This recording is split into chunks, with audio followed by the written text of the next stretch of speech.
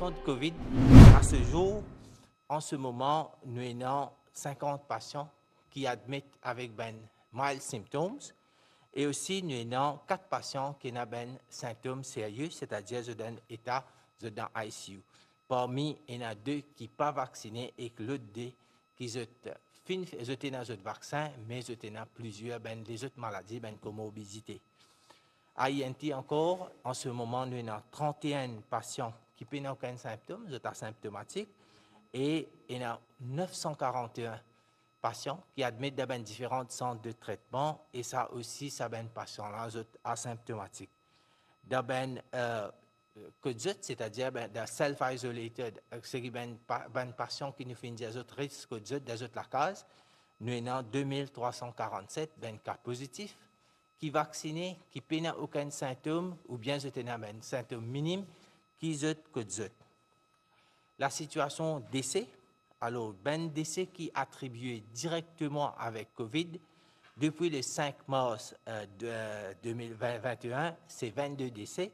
Et là-dedans, ben, ben décès qui, pendant sa semaine-là, depuis semaine dernière pour jusqu'à aujourd'hui, c'est 5 décès qui attribués directement avec COVID et puis ben, ben décès qui pas euh, qui pas attribué avec Covid, l'inormal c'est ben dimoun qui n'a ben comorbidité.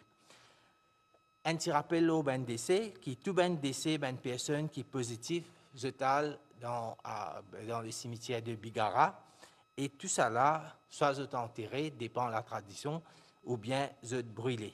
Et c'est ben sanitaire qui suivent tout ça ben procédure là et bien sûr nous fait de manière respecter un délai de l'enterrement, parce que quand même tout là, il y a une certaine euh, procédure pour nous faire, euh, bien faire l'acte d'essai, bien finir préparer toute une étape qui nous est là, et parfois arriver, quand nous pas une étape n'est pas fini faire à temps, il y a un délai.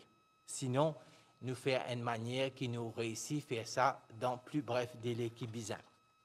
La situation dans une quarantaine, et les bons me faire rappel qu'en ce moment, nous avons en tout ces ben personnes, c'est 3455.